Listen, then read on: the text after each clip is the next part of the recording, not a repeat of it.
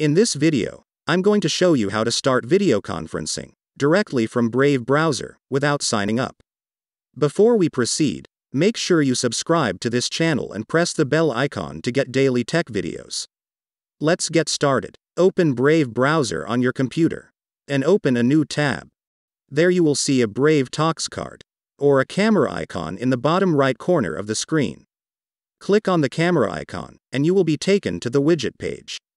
Here, click on the Start Free Call button, and Brave will start creating a meeting room for you. Then you will have to allow some permissions.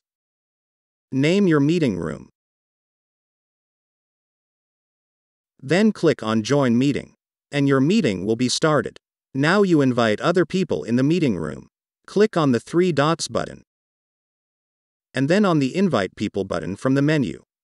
Now copy the meeting link and send it to others. Or share it directly using mail and other sharing options. The free version allows only four people in the room. To invite more people, you will have to subscribe to Premium. There you have it. Video conferencing through Brave Talks is that easy.